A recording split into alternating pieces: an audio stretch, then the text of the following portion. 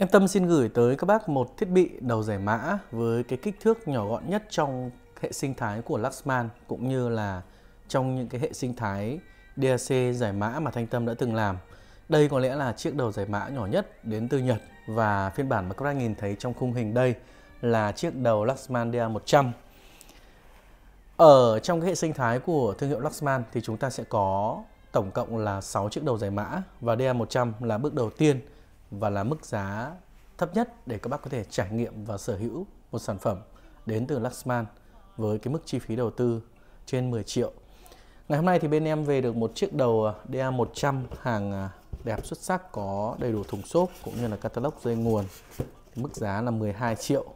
Bạn nào quan tâm tới chiếc đầu này thì có thể liên hệ tới một trong hai đầu số hotline bên em. Đây là thùng xốp của máy này, đang để bên ngoài nhé, không cần chưa đưa vào khung hình nữa. Bạn nào quan tâm tới chiếc đầu này thì em cũng có thể à, kết bạn Zalo và gửi tới các bác chi tiết hình ảnh góc cạnh của máy.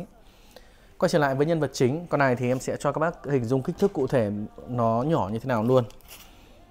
Chiều rộng của máy, các bác nhìn thấy đó là 15 cm. Chiều sâu thì chúng ta đang có là 20 và chiều cao chiều cao chúng ta đang có là 7 cm các bác nhá 7 cm 15 7 20 một trong những cái chiều cao rất là khiêm tốn cho chiếc DA100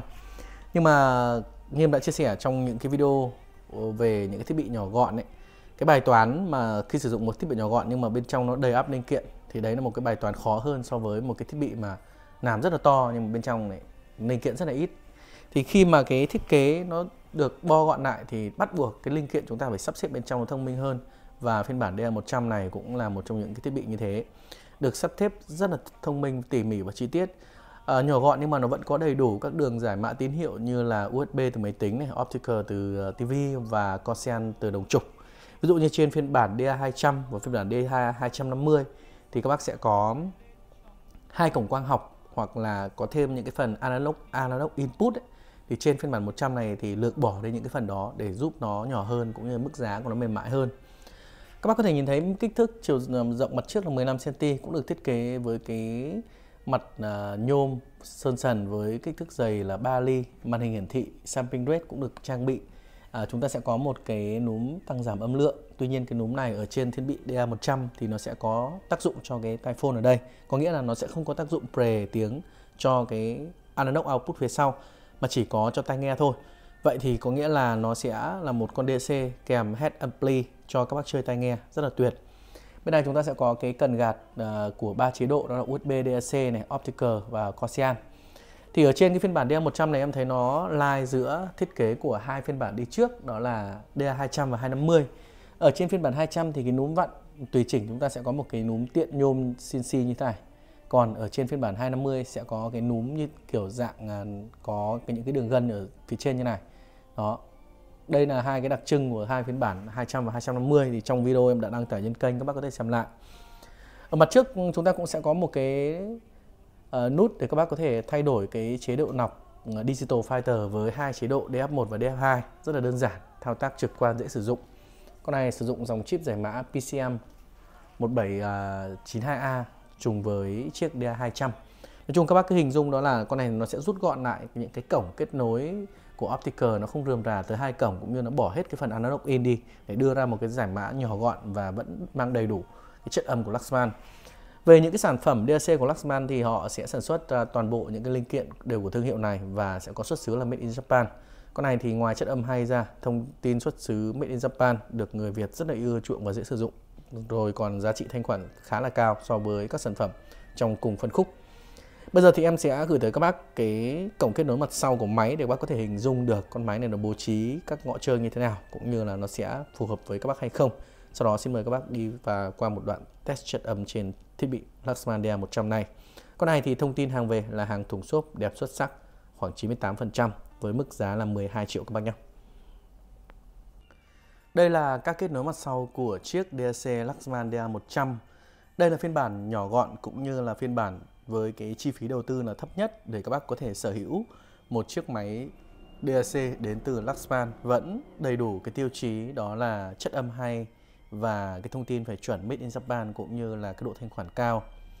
Chiếc DA100 này thì à, kích thước nhỏ gọn của nó vì thế cho nên phía sau nó sẽ bố trí các cổng kết nối rất là um, thông minh cũng như là gần nhau để các bác có thể dễ dàng thao tác cũng như để tiết kiệm được cái diện tích mà khi mà cái kích thước của nó đã quyết định cái yếu tố ban đầu. Các bác sẽ có một nguồn vào với chân là hai chấu, một công tắc bật tắt nguồn ở phía sau đây và cái công tắc này thì chỉ duy nhất trên phiên bản 100, phiên bản 150 mới có thôi các bác nhé. Còn 200, 250 và 06 thì sẽ không có. À, sẽ có một cái ngõ analog output để các bác có thể xuất âm xuống hệ thống ampli. Đây là ngõ out tiếng này. Bo mạch Digital In cũng trang bị đầy đủ 3 đường tín hiệu đó là USB, Cosian và Optical để các bác có thể khai thác đúng nghĩa với một chiếc DAC chuyên nghiệp. Ngoài ra thì dù nhỏ nhưng mà vẫn được trang bị hai cái đường out của Digital đó là đồng trục và quang học. Một trong những cái đặc điểm mà em cũng thấy khá là lạ đối với những sản phẩm DAC giải mã. Gần như ở thị trường Việt Nam thì rất là ít người dùng cái cổng kết nối này. Tại vì là bản chất chúng ta đang muốn chuyển đổi tín hiệu từ số sang đồng, từ digital sang analog thì ít người khi mà đưa tín hiệu vào digital và lại xuất luôn digital out nó gần như là không có nhưng mà trên tất cả các thiết bị DC giải mã cũng như đầu CD lại có những cổng này. Và em nghĩ rằng những cổng này nó sẽ phù hợp cho cái, những cái ampli số, những cái ampli số sẽ hỗ trợ những cái đường vào tín hiệu digital như thế này. Nhưng mà nếu mà như thế thì nó sẽ mất đi cái giá trị của bộ giải mã DAC chính của thiết bị này. Đây cũng là một trong những cái đặc điểm mà em thấy các cổng này nó hơi thừa so với thị trường Việt Nam rồi, đó là về toàn bộ các kết nối mặt sau của máy. Bây giờ xin mời các bác cùng thưởng thức cái chiếc âm giải mã qua chiếc ờ, DAC nhỏ gọn đến từ Luxman với tên phiên bản là DA100 các bác nhé.